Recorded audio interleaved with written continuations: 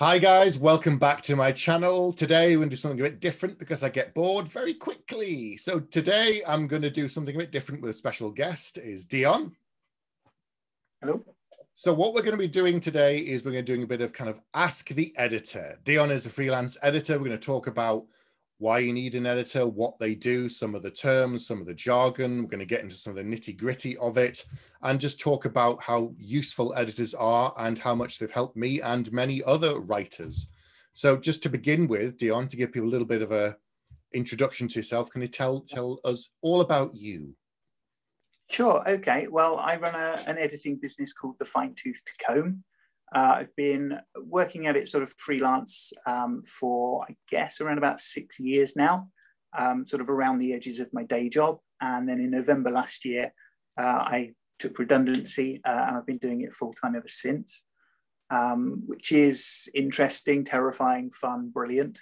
Um, we're kind of sailing that, that business ship out into the ocean and seeing where we go with it. Um, so I primarily tend to work with independent authors and small presses, um, you know, publishers, uh, and just really help the writers make their work as good as it possibly can be. Um, different writers are at different abilities, so it'll take different kinds of uh, levels of work to get them where they need to be to, uh, yeah, to get the book soaring.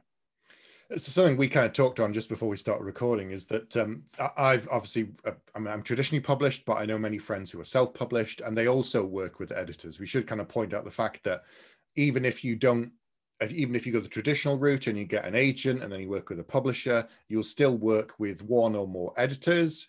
You'll have uh, probably go through an edit with your commissioning editor. So this is the person who has bought the book of the publisher then it'll go to a copy editor, then it'll go to a proofreader. So it goes through a number of stages. So whether you're thinking of doing a self-publishing route or the traditional publishing, it's something you have to get used to. And I know that one of the traps writers fall into sometimes before they kind of send it anywhere is they want, they want to make the book perfect.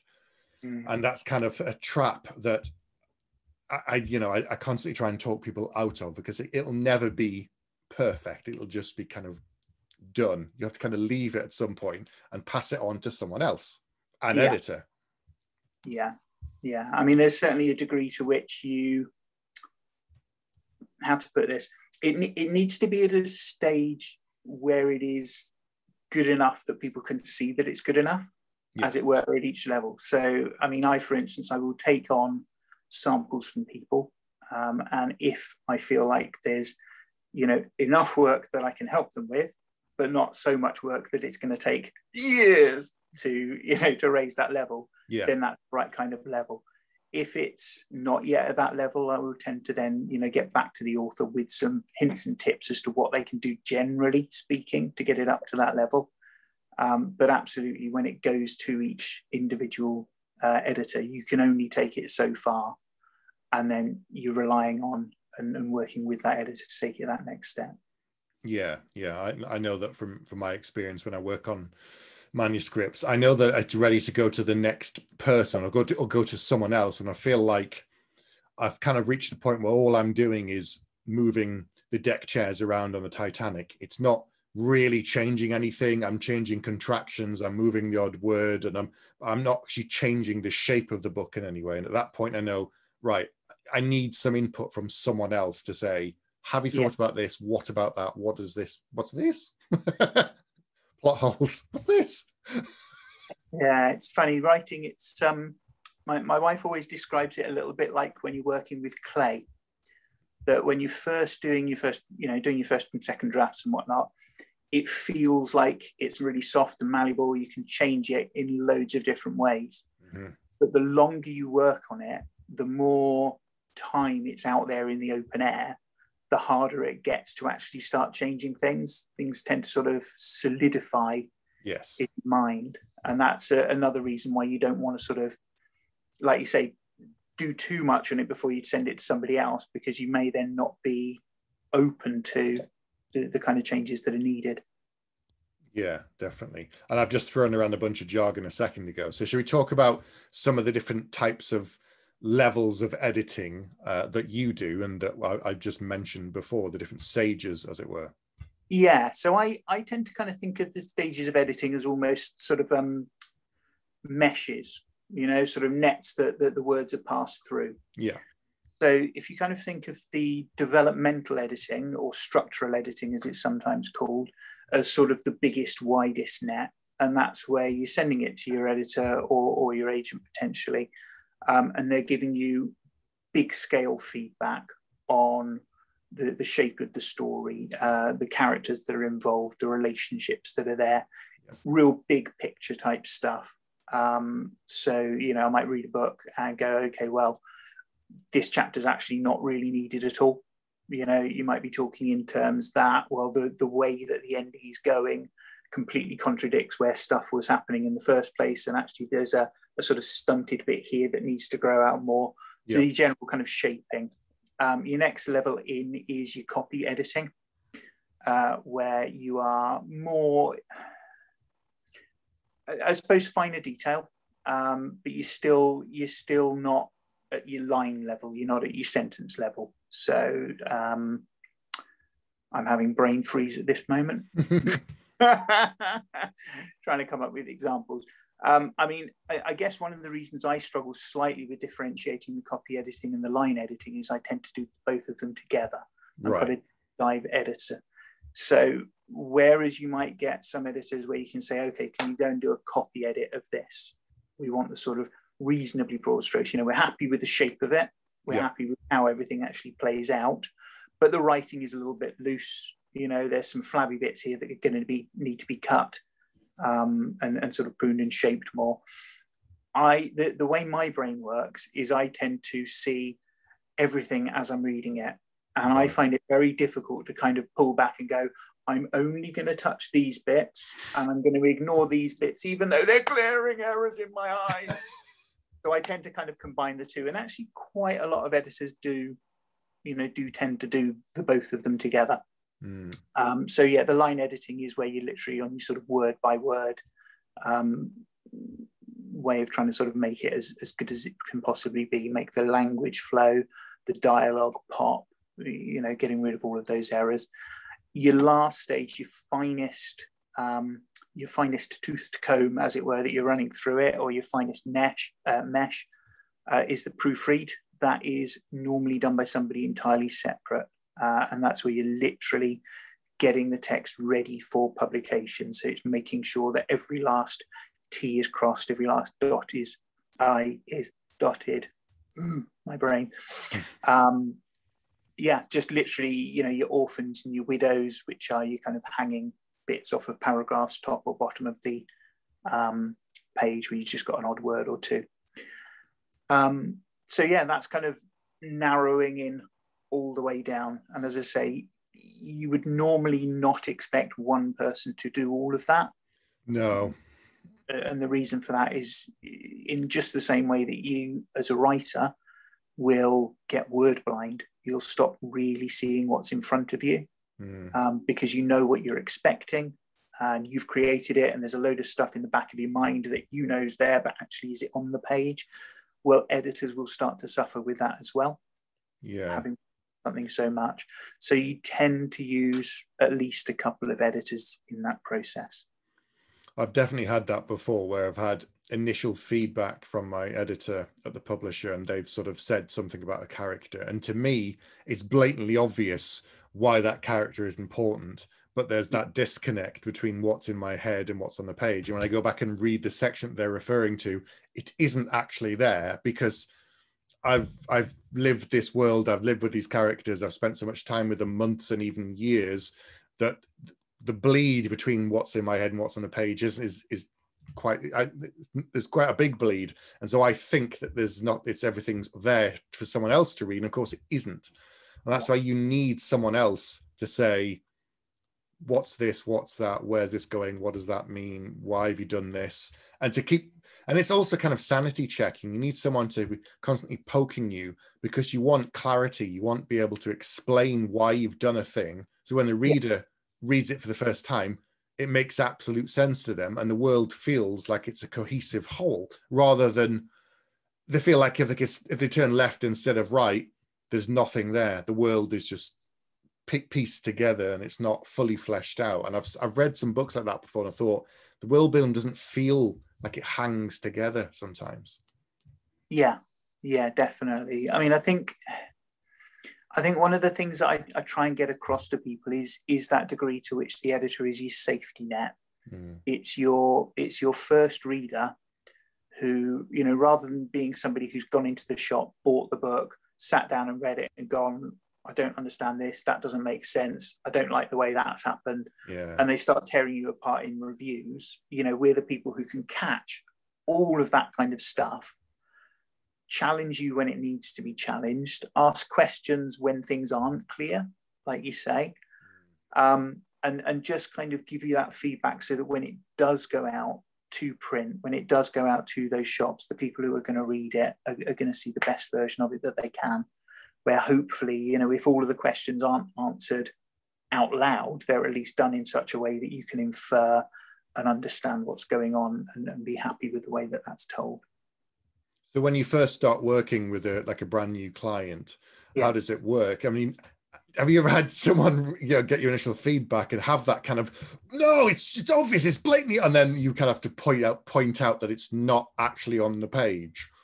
I mean, uh, it, it's, I mean, the people the people for whom it's that bad tend not to be the people who I go with for clients anyway. It's one of the benefits of being self-employed is you can you can look at the stuff that's coming your way and you can say, well, actually, I don't think that one's ready. Or in some cases, just the communication that you've had when you've started talking about the job has made you think that person's personality, the way that that person is treating me, even at this stage, that's yeah. not necessarily something I want to work with. Um, I've had a couple of instances, I guess, where things have gone slightly awry during it. Um, and, you know, a huge part of the editor's job is really in not just seeing what's wrong, but communicating that in a way that is collaborative and constructive. Yes. Um, to, to bring the writer along, you know, because you don't want to be in a combative state no. You know, I, I'm here to help the author achieve the author's vision. The author is paying me good money to help them do what they want to do. And if fundamentally they're either ignoring everything I'm saying or they're getting angry with everything I'm saying, they're throwing their money away and we're getting angry at each other for, for nothing.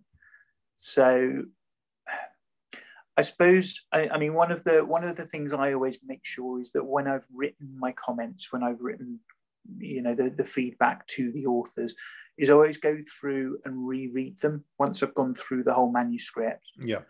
And that's kind of just a check for, okay, if I was the person just reading this, is there a way that I could read that and, and feel like I was being slapped on the wrist? You know? is there a way that I could take it the wrong way? And if so, I try and sort of rephrase things just so that it, it, it really demonstrates that I'm there to help. Yeah. Um, and, and that, you know, I want things to go well. And, you know, sometimes I'll throw bits of humor in. You know, sometimes I'll just highlight something and go, oh, this bit's brilliant because people don't want just negative. They, they want to feel like you're actually enjoying what they're writing. Yeah yeah. Um, and i think that's it's really important just to kind of build that relationship build that rapport and uh, and share the joy of what you're producing together.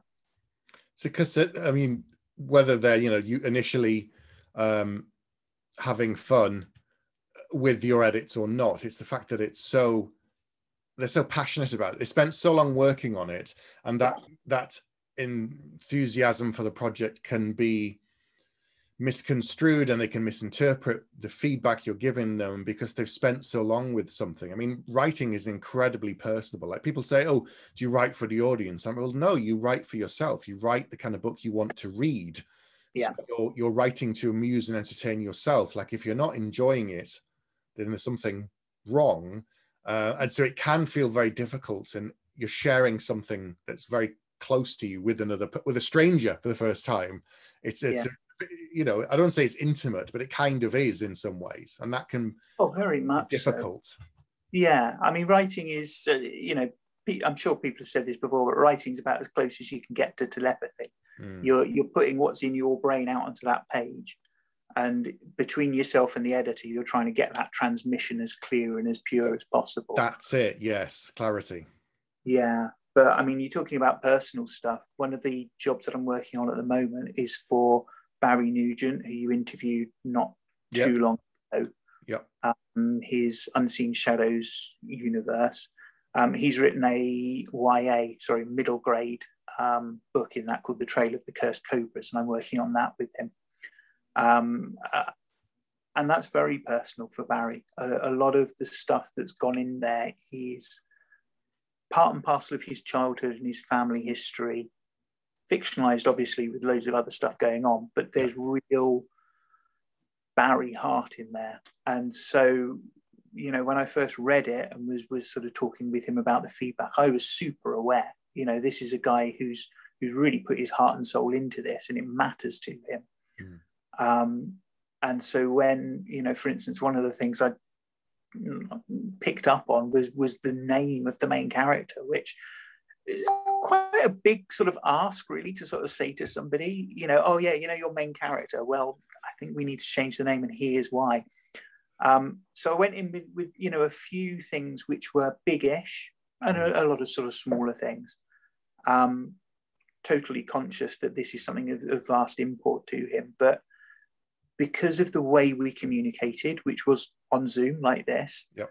Um, he was able to look into my face and see what I was trying to get across to him. We weren't purely reliant on the words. I think that's a nice, a nice thing to do is to get that sort of personal relationship. Yeah. Um, and yeah, you know, we were able to just have those kinds of conversations where you could actually talk about, well, look, here's the issue and here's the why um, and being respectful of each other and listening to each other. And actually, you know, when an author is really dead set on something, if there's a really personal reason for that needing to be there, well, sometimes as an editor, you've just got to kind of back up and say, well, okay, you know, that's your choice. Mm. Um, we've, you know, I've given you the reasons why I think there's an issue. But at the end of the day, it's your book to write and your book to put out. So, so long as I'm raising the issues and having those conversations with you, I'm doing my job. Yeah. But really, it's down to the author, or in some cases, the publisher as well, obviously, as to what's then finally going to go into it. Mm. I think a bit of a misconception, whether you're traditionally published or self published, is that you will have to work with an editor and several other editors, as we've said, because they don't always have one person doing the whole job. Yeah. And I know that some self publishers think that the difference between the two and traditional is that you keep the clarity of vision if you self publish versus traditional.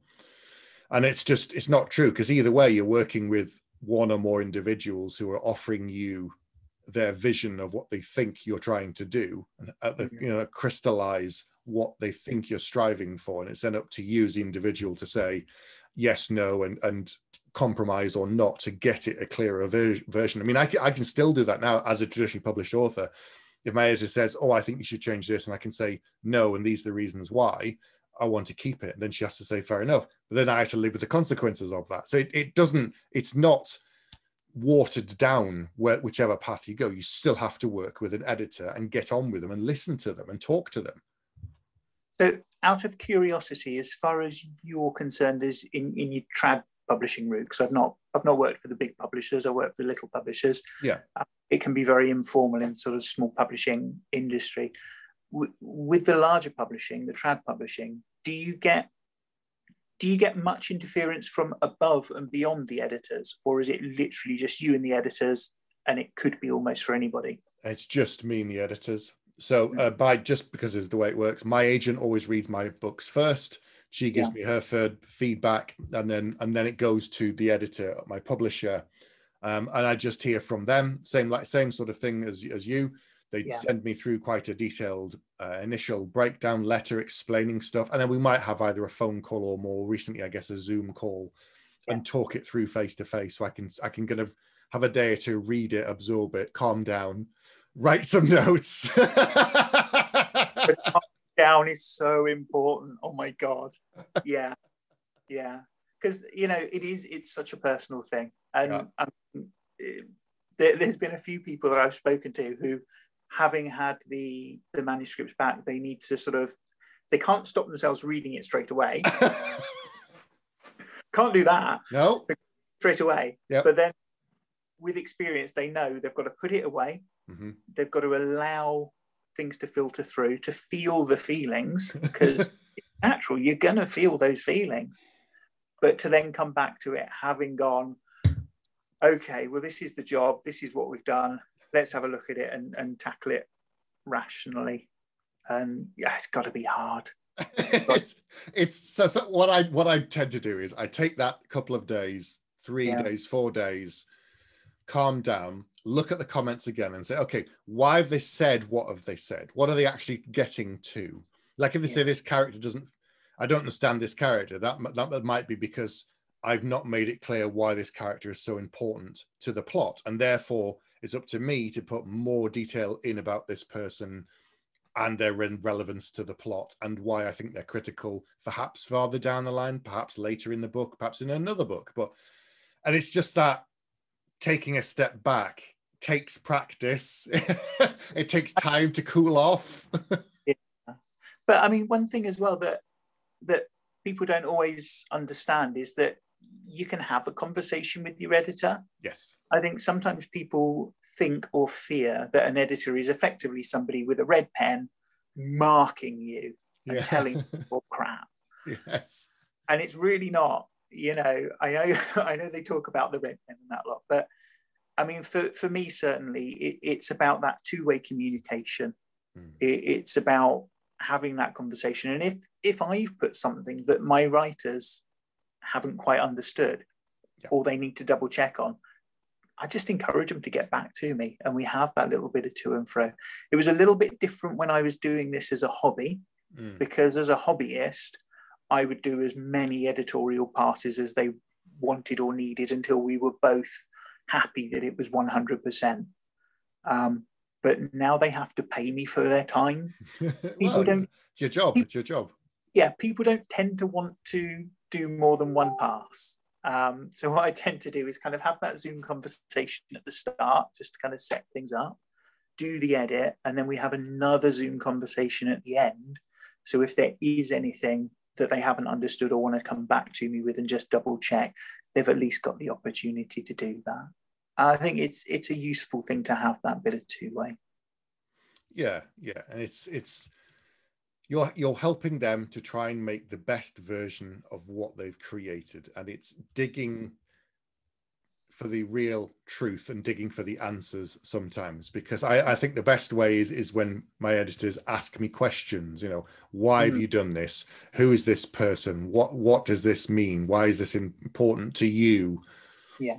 Like you said you got you got barry to change the name of one of his main characters you know that's that's quite a, a big thing but there's obviously you know a reason that you did it and it made Yeah. him sit back and think about it and say did i just do that because it was easy or did because that was a name in my head or you know Yeah, and it's it's funny, you know, because some things are important to some people that you wouldn't think are important, and some things aren't important that you would think are important. Mm, I mean, the the the first name, uh, the the surname thing for for Barry was actually quite an easy thing for him to change, but it was quite a big ask for me to ask, if that makes sense. yeah Yeah. Um, but I mean, I like I say, I've always figured, well, look, if they if they don't want to hear what I'm saying, why are they paying me?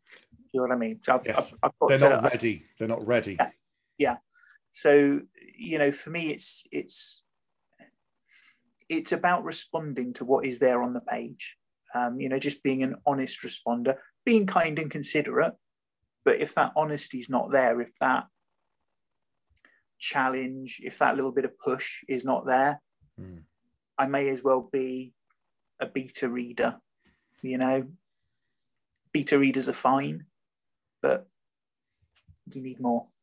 You do, you do, and the market is more competitive than ever before. Whether you're, you know, going with small press or, or traditional publishing, or even self-publishing. So, a friend of mine, Ben Galley, self-publishes um, his all of his books through Amazon, but he works, you know, with an editor and a, and a great cover designer, and it can't be amateurish. It can't be kind of just cheap and cheerful because people expect something better now than ever before. Vanity Press still exists. I could yeah. write something up, send it off to a, com- a, company, they'll print it for me, sight unseen, and put it out. And then it's like, yeah, but it'll be rubbish. It yeah, needs yeah. to be handled by other people. Yeah, and, and I mean, I think the fact that there's so much software out there these days, there are so many ways in which you can do a professional looking job. Mm. If you're not doing a professional looking job, you, you're already falling behind quite a low hurdle. Yeah. Did those words make sense? Yeah. Sense? I know what you mean. Yeah, yeah. You're falling behind. Yeah, because the people are expecting have higher expectations these days. Um, I was going to talk a little bit about themes. Do you?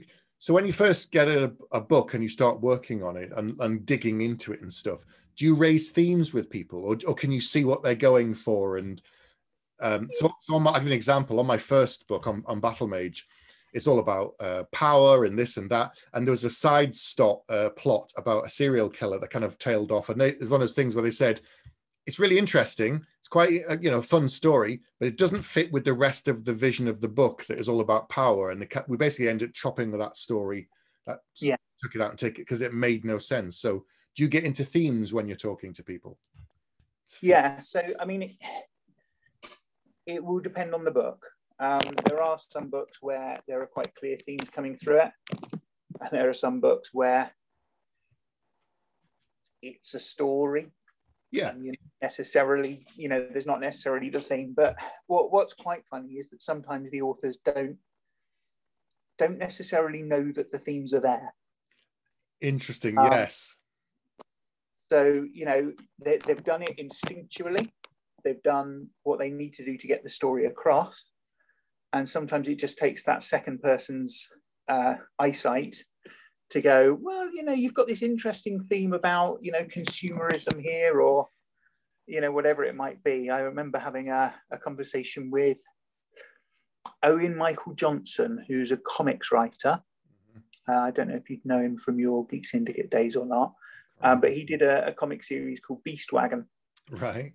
Um, which was was brilliant. Um, and that that had uh, when I was doing sort of the review for that, I was bringing up things and asking him questions that he just hadn't considered.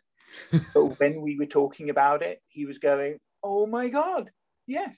And I think I'm not 100 percent sure. He may have been blowing smoke up my ass, but I think it actually then affected how he then went on to do sort of some of the follow up issues on it. Mm. Because I've been able to spot stuff like that, and I mean, that's one of the nice things as well is sort of when you do read and review things as well as doing the editing job, it's another way of kind of getting you to look at stories and think about stories in different ways. Yes. Um, you know, an a, analysis, I suppose, fundamentally is what editing is. You know, it's analysis and feedback. Um, so reviewing is a really good way to sort of polish up those skills as well. Mm. Um, yeah, yeah. No, I, I do like it. And I'm really bloody glad that I've finally found a way to use my degree because for years. Right. So, what was your degree then?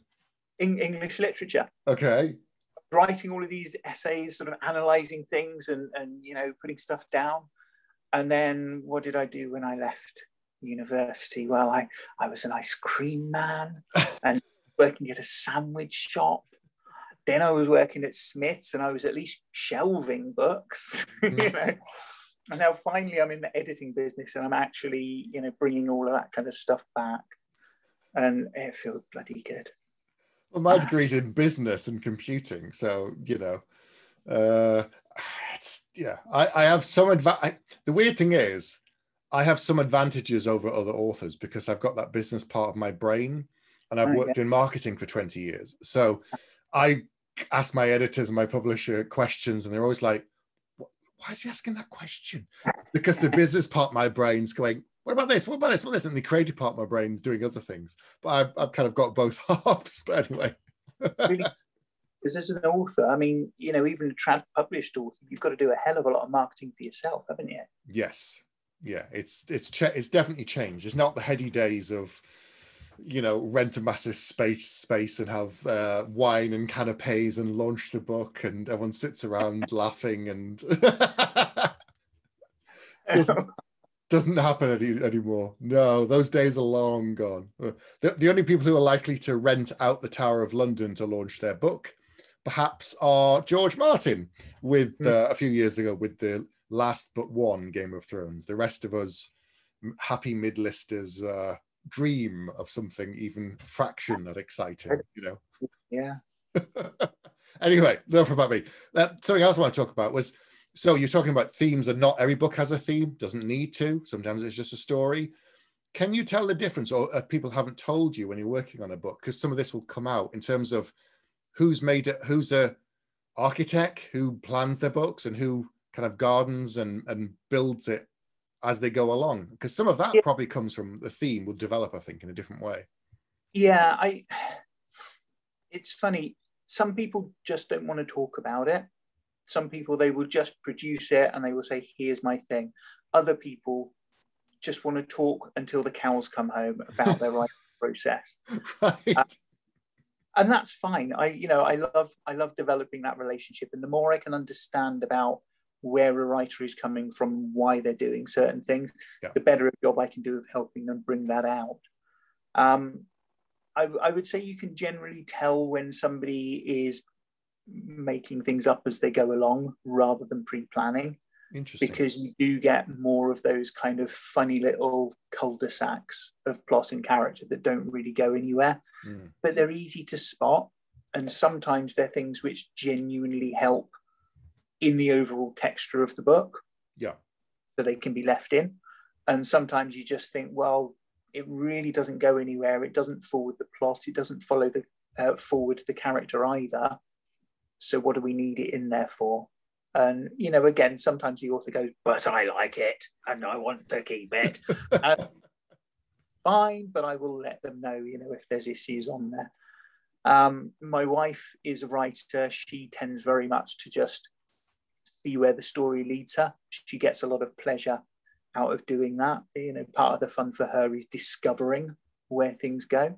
Mm. Um, but one of my regular writers who I work with, Angeline Trevena, is a real plotter. She will sit down and she will painstakingly plot loads of stuff out, do all of the world building stuff. She'll come up with the maps and all sorts of things before she sits down. But when she does sit down, she can really blitz it because she knows what she's doing right from the word go. Um, I, I don't know that there's a right way to do it. You know, some of those things that you discover you know, like I say, with regards to theme and whatnot, they do just come out organically. Yeah. Um, so I, I don't know that I would necessarily recommend one over the other. No, no, it's whatever you feel comfortable with. I mean, I, I've tried it both ways and I know it works for me. And I know that I, I can't make the stories up as I go along. Whereas I know other people like RJ Barker, he couldn't, he'll go in with a, a core idea, like it's it's a, it's not a spoiler because he's the first two books, right? Like I say, you know, the bone ships, you have the idea of it, right? It's, it's all these massive ships made from the bones of dragons, and that's part of the core idea. And the first book, it's not a spoiler because it's on the back. A new dragon has been seen and haven't been seen for a couple hundred years, right?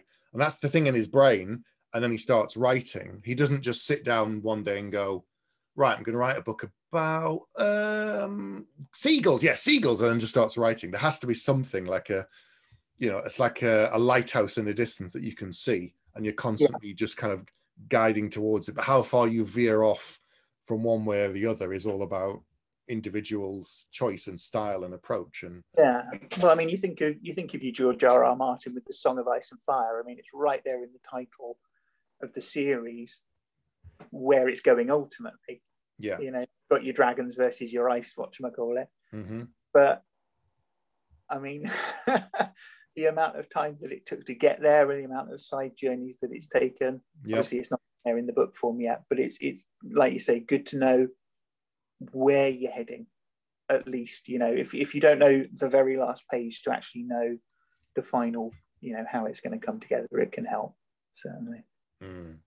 Are there without giving too much away? Are there common things that you see people doing time and time again that you're constantly uh, you know common traits not necessarily mistakes but things that people do that you're you're picking up all the time it's different things for different writers i mean there are common mistakes there are common sort of issues there but I kind of don't worry about them, and I tell the writers not to worry about them because Yeah. they're because they're so common, because they're so easy to pick up by any editor. We can just fix them in Yes. the mix. The things I think that are harder to deal with are, for instance, when people aren't any good at writing dialogue. You know, when people just don't know how to bring those characters to life, or they're using a lot of passive language, so it's not really engaging the the, the reader. Yeah. And that, that can be a little bit harder to deal with because you know fundamentally there we're, we're, we're there to help them raise the quality of their books. We're not there to teach them how to write. Yes. um, and and unfortunately there is sort of that that sort of overlap between people who want to write people who can write and people who can write and actually take it all the way through to publication as well. Um, so there's a lot of a lot of sort of delicate conversations can happen. Um, the common traits i'm trying to think of some now Mm. is there anything your editors have picked up on that have sort of said oh steve you tend to do this um, so, so sometimes show and tell. That's a thing that comes up a lot. Um, Yeah. A lot of my characters have they they working through emotions, and sometimes I tend to do that with the character in their own head yeah instead by themselves than with another person talking it through. And it works fine if it's a first person book because you kind of have to have more of their internal thing. But if it's Yeah. fourth person, it's probably easier to see it through their actions and conversations with other people. Definitely, definitely. You know, the amount of times that you do have people describing how somebody feels before then showing how they feel, and you just Mm. think, well, get rid of that description and just show it. Um, yeah, no, that's that's a big one that's in there. Um, oh God, I, I I blank on these sorts of things. The moment people ask me for Yeah. I think, I mean, this is part of it, is that it is so much a responsive kind of a job. You know, every every manuscript that comes in front of us is unique. Every writer is unique, and every problem that those writers have, while there may be ones that you see going through them, it's hard to kind of pick out and just say this is something that you as a writer should never do, because there are so few actual rules Yeah. in, in it, there's the grammar stuff, most of which are guidelines rather than rules. There's the, there's not really anything that's hard and fast. Um, even with punctuation, you see people doing imaginative things with punctuation. So yeah, the other day I was reading um, what's it called now? Iron Council by um, China Mieville. Yeah. There's there's em dashes being used instead of speech marks. And it's like, well, you know, so long as you're consistent, so Yes. long as so long as that consistency is in there, people will, will get things. So if stylistically you want to do things a little bit different, there's a lot you can get away with. It's just having that vision, it's knowing what you want to do and Mm. being able to actually explain why you want to do it. And I think this is where sometimes you get a little bit of conflict when authors sort of push back because there's a tendency to bluster from time to time Right. when so uh, a sort of a, a sense of I, I want to fight back and i'm going to say some things that roundabout almost sort of make sense. But actually when you think about it when you sort of pull it apart if there's not a, a purpose behind doing something then it's there to be sort of challenged and, and picked up on and, and maybe changed and maybe not.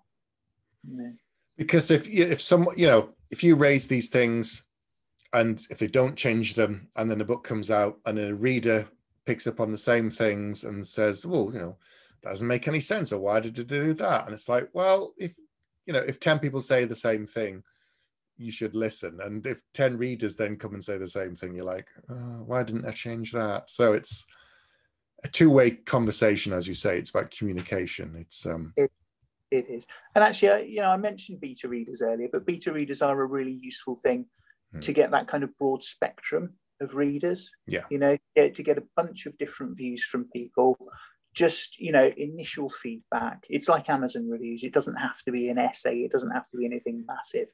But just to get those bits of feedback from a variety of different people to, to, to get a sort of an overview of how are people taking this.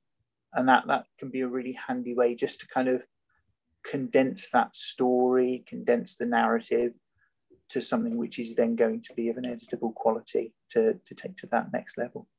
Yeah so have you surprised some of your authors with stuff you've told them or, or stuff you've seen in their book and they haven't realized it's even been there until they've thought about it? Yes. Um, one fellow I worked with, Kit Power, um, he had a, a book of short stories, very unique, interesting sort of construction. Mm. Um, and there were some conversations that we had on there that were really quite challenging, really quite sort of pushing the boundaries. But he's a guy who is all about pushing boundaries, and that was actually quite a quite an invigorating um, editing session. Really interesting guy, really lovely guy, um, uh, and we really managed to sort of between the two of us, kind of pushing together, really kind of raise, raise that. But yeah, yeah, it's funny. Yeah, I, th- I think back. I mean, over Christ, six years. There's a lot of people that I've worked with, a lot of books that I've worked on. Mm. But it's so strange because the moment you've finished it and you've handed it back in, it's almost like you have a memory wipe. Yes. And that goes because you can only carry so much in your head. It's true. Know? And and while I'm working on it, like I mean, I can I can go back and there are certain sentences that will just kind of jump out at me it's like it's like you're holding the whole damn book in your head sometimes. Always. And I get the same thing with the um, the audio productions I do as well. I started recording audio stories for people, and I'm sort of doing the audio editing on that, and and it's this sense of you you know exactly where things lie while you're dealing with it. Yeah. You know, intonation of every word, you, know how everything flows and it's all just there in your head and then you finalize it and you finish it off and you send it away and you've got to clear your head because you can't possibly carry anything else in there no it's it's um, what it's the thing I've said to people is only ever work on one book at once when you're writing it because if you're working on more than one book at once, you're not doing it right, in my opinion. Because you should be focusing completely that even if you're not working on it it's in your brain swirling around and you're building and manipulating and working on things. And so you know I, I, people have mentioned stuff from my first book. I have to go back and check and be like oh yeah that isn't that book. I can't remember. I wrote the book. It's there. I spent months working on it years editing it. It's come out but that's gone. I, like i can't i can't remember it. I'd have to go back and read it myself to remind myself of some of the detail because I just can't hold it all in my brain. What about when you were working on a series then? Because my, my wife's writing book two of her little series. Mm-hmm. Um, but she's also editing book one. Uh, and she's yeah. finding the editing process on book one is helping her then with where she's going with book two. Same characters, obviously, same stuff yeah. going. Um, so have you ever done that with yours, or do you literally just get one book completely finished and then out before you start the next? So Orbit with their debut authors, like I was, tend to do this thing where they accelerate the publication schedule. Normally, a book comes out, and a year later, you get the next book, which is fine. But if you're a debut author and someone goes, "Oh, it's brilliant! When's the next one?" A year, and you go, "Oh, you know, I'll try and remember." It's a long time, and there are a lot of other books that could come out and people can forget. So what they do is they give me and other authors longer lead time up front and the trilogy came out in 12 calendar months. So I had September, I think March, and then the following September. Yeah, yeah. It meant that I had finished book one, edited it, handed it in. I was writing book two and then doing a bit of last tuning on on book one. Then I'm working on book three whilst doing a bit on two, final bits on one. And that was intense. Three books at the same time to some degree was intense, but they weren't all at the same stage. And because they were connected, it was easy because it was a, a, trilogy, a trilogy, although I did a slightly uh, atypical trilogy, of course, my first one, to make it even more complicated. But it's the same world, mostly the same characters, but that was hard. I haven't done that since. Mm. Um, you tend if it's a, if it's a ongoing world, then that's fine because I'm writing book one, thinking about two, and then you move on and you're doing you're going back in time and you can pull things in as well. Yeah. I mean, if you've got the time, so Joe Abercrombie on his new series that's coming out at the moment, the, the Age of Madness, he wrote the first draft of all three. He took the time because he can to say, right, I'm going to do a first draft of all three, hand them in, and then he'll start. He started working on them, and he could, oh, that that should go in one, and he could actually has the time to then plop put that, and I can pay that off better in three, and so you know, constantly doing it. Uh, I've never done that before because I don't have the the you know, the ability, the lead time to take to do that. But it yeah, yes, that is. Exercise. It's a bit of a luxury, I guess, isn't it? But it, it's kind of part and parcel of the way that storytelling is changing anyway. I mean, when you think of your TV series, your streaming Netflix and all that kind of stuff, mm-hmm. how things that previously would have been done as a film are now done as effectively an epic, you know, 12, 14, 16 hour yep. movie broken down into sort of your, your different episodes. So I guess I wonder if books are going to start getting more like that. I think know? they're going to become more seasonal. I think the days, I mean, we, we know you and I both have, have known Adrian Tchaikovsky and his Shadows of the Apt 10 book series, and there's the Malazan, which is a 10 book series. And apart from one or two exceptions, like your Brandon Sandersons, I think the days of long running series are over for now. It may yeah. come around again, but I think it's more going a case of more like I don't know if you read them, the Expanse novels, where read them, yeah. So. Okay, so it's not a spoiler to, to say this, but it's, it's a nine book series. However, each book is a story set within the same world with most of the same characters, and then it carries on. But you could read that and get a full story, and then you do the next one, get a full story. I think, like the seasonal arc of TV, I think that's where um, fantasy and sci-fi will go for a little while because people want that kind of oh that was brilliant have a great taste great story put it down and then pick up the next one you'll still get the traditional trilogies and maybe four part books and stuff but i think you're right i think the way that people consume media is going to change yeah. science fiction and fantasy for sure yeah i must say i've i've when i was younger when i had time to read I, you know, I would blitz massive series, and these days I find it hard. I find it hard to do even trilogies these days. You know, because I mean, I've got, I've got, I haven't got a to be read, to be read pile. I've got a to be read bookshelf. In fact, I've got a, a line of three bookshelves, of which the top shelf of each is the next book that I'm going to read. Your book's on there, by the way. Um, that's part of my to read pile. This yeah. I've got more in another room, but that's my ongoing pile. It's crazy. So yeah, I mean, I, I just I find it really difficult to to to get the time to read for pleasure that I used to do. Yes. And so I've, I've been really appreciating of late, you know, books of short stories, anthologies of short stories, novellas, mm-hmm. um, and, and the standalone books where I can get them. Um, but yeah, it's it's a changing world. I suppose you know Kindle has changed things as well, hasn't it? The ability to just go straight from one book to another without having all of that big clog on the shelves as well. So yeah. Yeah, yeah. The way people consume media that way. Audiobooks are incredibly popular and growing. Ebooks, they thought it would cannibalize, just like digital comics, they thought it would cannibalize the market. It hasn't. No, it's just expanded it, and people will say, Oh, 99p sale on a book. Yeah, I'll have that. Click, and they've got it and it will sit in their drive forever. and never be. well, whether they read it or not, the author is still happy. I am still happy. Like a friend of mine bought my book re- lately, said, I don't really read much of fantasy. And I said, I don't get paid any more money if you read it or not. So I'm quite happy. oh, I love it. very, very happy with that. oh, wow. So I'll put links down below where everyone can find you and uh, all about uh, editing and uh, all the different things you do and the different levels. But uh, for, thanks for coming on tonight and talking to me about explaining just because people ask about editors, what they do, how it works, the different stages, and that sort of thing. So. Yeah, well, you know, I'm, I'm always happy to answer the questions. Um, if folks want to follow me on, on the social media, reach out with any sort of questions.